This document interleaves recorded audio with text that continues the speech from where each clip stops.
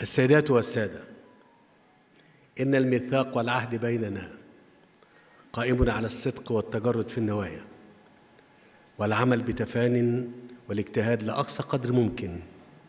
نبتغي وجه الله سبحانه وتعالى. ونسعى لأن تكون مصر في صدارة الأمم. لا نلتفت لمن يسعى لتشويه الحقائق ولا لمتربسي إراقة الدماء والقتل.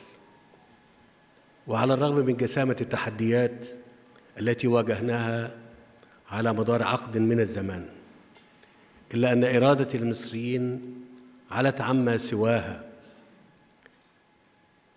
ونفذت إرادتهم وأحلامهم المشروعة في بناء دولة ديمقراطية أساسها العلم والعمل وتسعى نحو السلام والتنمية وفي سبيل تحقيق ذلك دفعت أمتنا ضريبة الدم وقدمت التضحيات الغالية. وبينما كنا نواجه الإرهاب وغدره وبينما كنا نواجه الإرهاب وغدره بصدور رجالنا في الجيش والشرطة كانت سواعد أبناء مصر تشق, الصخر كي يعلو البنيان في كل ربيع الوطن في كل ربوع الوطن. وتوحدت القلوب تحت ظل راية مصر ولم تفرق بين رجل وامرأة.